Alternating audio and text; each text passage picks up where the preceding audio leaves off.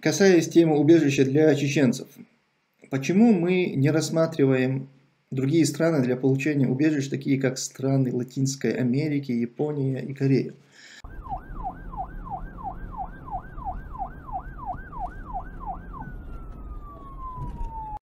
Салам алейкум, Тумсо. Как думаешь, Запад заставит Россию рано или поздно все аннексированные территории отдать Украине? А Запад, он никого заставлять не будет. Запад будет помогать Украине, а вот от э, отвоевывания, да, деоккупация своей территории, это задача как раз Украины. Запад в данном случае свою кровь там проливать, ну, западные страны, я имею в виду, свою кровь там проливать не будут. Армии а, Америки, Британии или других европейских стран воевать там тоже не будут. Воевать там должны и будут а, украинцы, ну и добровольцы, которые будут помогать а, украинцам. А вот э, что должен сделать Запад, если он не хочет потом проливать кровь своих солдат, то он должен помочь Украине в отвоевывании этой своей территории. И вот здесь очень важно, чтобы это помощь была очень действенной и, и быстрой, чтобы вот э, от, не отправляли туда, допустим, э, военную технику месяцами, там, чтобы это решение не проходило через там, парламент, и месяцами там, они это не мусолили, понимаете, быстро надо очень действовать. И тогда Украина а, сможет деоккупировать свою территорию, и от этого выиграет весь а, цивилизованный мир. В Чечне тоже есть люди, которые поддерживают Кадырова. Сегодня час общалась по WhatsApp с чеченцем из Грозного, и он говорит, что нет пыток, арестов незаконных, э, рассказывал, как прекрасно все в Чечне. Ну, конечно, такие тоже есть. Очень, очень мало тех людей, кто вот такое тебе скажет, что нет пыток там и так далее. Даже те, кто его поддерживают, в целом понимают, что есть и пытки, и что в любой момент они сами могут стать жертвами, там, и или члены их семьи. Но э, есть ли какая-то там часть э, людей, родственников и приближенных к нему людей и так далее, которые э, его поддерживают? Ну, конечно, есть. Но это очень малая часть нашего народа. Тумсо Бюстикхилха э, хотела спросить, если в Чечне мучают и пытают, угрожают, почему Европа не принимает нас, если прекрасно знает, что есть проблемы в Чечне? Ну, такие вот э, не совсем однозначные подходы здесь применяются. Понимаете, э, вот эта вот конвенция по беженцам, она регламентирует э, выдачу э, статуса беженца человеку непосредственно преследуемому. То есть вот это вот э, преследование, оно, оно должно быть непосредственно в твой адрес. Тебе должна быть угроза, а не так, что в Чечне пытают, там все плохо, поэтому я вот из Чечни дайте мне. Так это не работает. Ты, ты должен как бы обосновать, что вот непосредственно тебя, вот как меня, Тумсо Абдурахманов, вот я, если вы меня сейчас вернете обратно э, в Россию, то вот меня конкретно там преследуют и не по праву. То есть я не совершил никаких преступлений, за которые, которые и в этих странах считаются преступлениями, понимаете? То есть, если ты, например, а, высказал какое-то мнение, скажем, ты назвал войну в Украине войной, а это в России сейчас преследуется нарушение закона. Если ты сюда приехал и говоришь, меня преследуют, я там назвал войну войной, то здесь это не является преступлением. И это а, является нарушением свободы слова, то есть то, что Россия делает.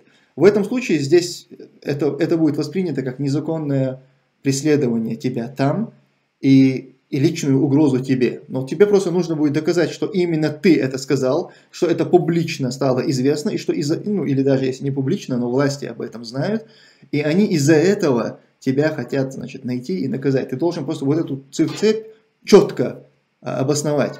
А если ты скажешь, там в России людей вот наказывают, они говорят, что война э, в Украине это война, их за это наказывают.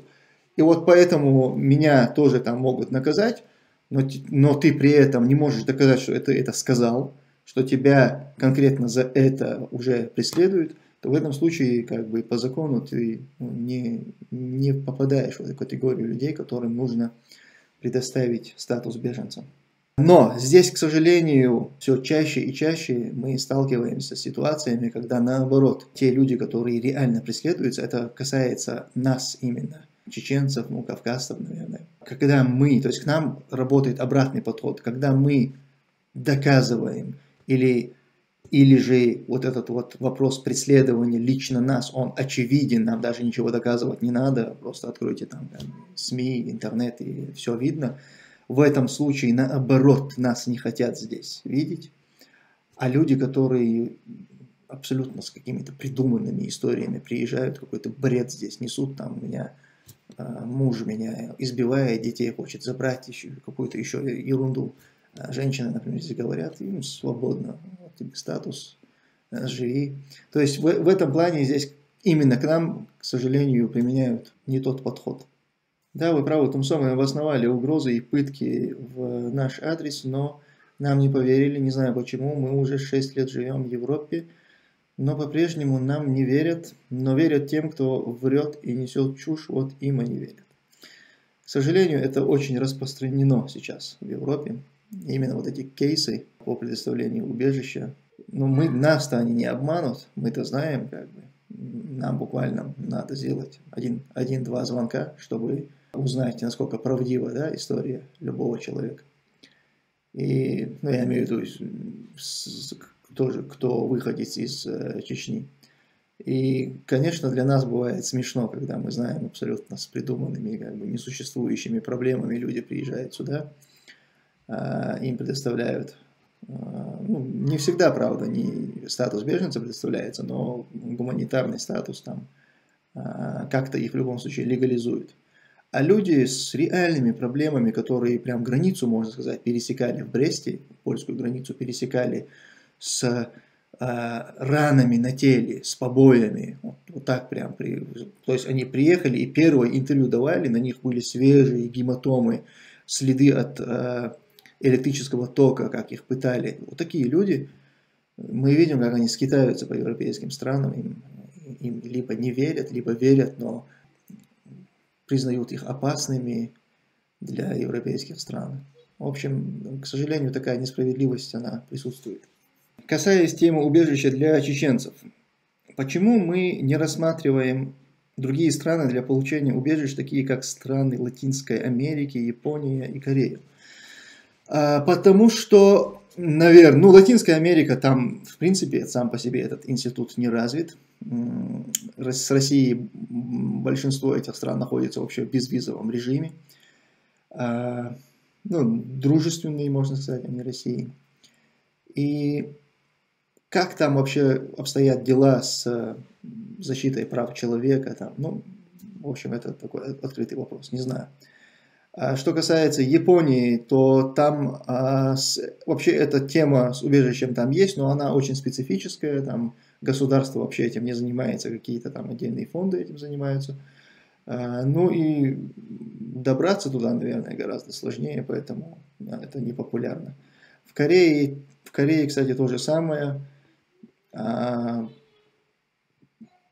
то есть проблемные люди, у которых проблемы с Россией, их там тоже как-то не, не жалуют, насколько я общался с теми, кто там побывал или находится. Ну, в общем, а, как только ты озвучиваешь свои проблемы, наоборот, тебя очень быстро оттуда депортируют. На сегодняшний день самая лучшая страна для беженства какая? А, невозможно вот так вот сесть и назвать какую-то страну. Все зависит от каких-то индивидуальных твоих нюансов. Семейный, ты там одиночка, ты, ты с проблемами реальными или ты без проблем. Если ты с проблемами, то какого характера у тебя эти проблемы? То есть э, все зависит от этого. Э, я, вот Швеция, допустим, я бы ее рекомендовал, конечно же, людям, а, в основном для, наверное, для одиночек э, людей или, или тех, у кого уже взрослые дети. Хорошая страна, безусловно. А, в плане, в плане статистики, то есть сколько, кому и как даются, дается убежище, но очень сложный вопрос на самом деле – потому что вот какого-то, вот в этом плане нельзя назвать какую-то страну, сказать, что она прям вот благоприятная, здесь прям хоро, хорошая статистика по выданным а, убежищам. К сожалению, не могу я так сказать. Вы, вы в любой стране Европы, вы столкнетесь с проблемой, вы столкнетесь с нежеланием давать вам это убежище. Ну, вообще не, не хотят вас здесь видеть. Это то, с чем вы по-любому столкнетесь. Первое интервью, первое решение, которое будет вынесено, оно не будет... С, э, с, то есть вот эти вот э, вопросы, которые вам будут задавать, их не будут задавать с целью выяснить, явля, являетесь ли вы преследуемым человеком. Эти вопросы будут задаваться с целью найти какую-то зацепку, что вам отказать. Вот изначально вот такой вот такой подход у, у работников миграционных служб. К сожалению, это так. И по-любому будет сложно. То взять там что-то, это если вы с реальными проблемами. Но при этом э, я могу составить такой топ, знаете, стран более беспредельных. То есть те страны, которые больше взаимодействуют с российскими правоохранительными органами, и для которых любое уголовное дело, заведенное в России, оно является чуть ли истинной последней инстанцией. Вот, вот такие страны, Германия, сразу вам говорю, если у вас реальные проблемы с российской властью, Германия не ваша страна. Самая, наверное, беспредельная страна из всех европейских, которые просто могут тебя по, по каким-то своим там усмотрением, желанием, по, просто из-за какой-то рекомендации из России могут вас внести во всевозможные базы данных, после которых вы вообще ни, ни счет нигде не откроете, ни поехать никуда не сможете. Это Германия. Поэтому эту страну я людьми, людям с реальными проблемами я ее вообще не рекомендую. Лучше туда не суйтесь. И вообще лучше сделайте так, чтобы вот с этой страной у вас ничего как бы не пересекалось даже. И вот все мои проблемы, которые я получил в Европе, они были инициированы Германией. Почему, скажете вы, как такое возможно? Я никогда там даже не был. Не знаю, вот, вот так, такая страна.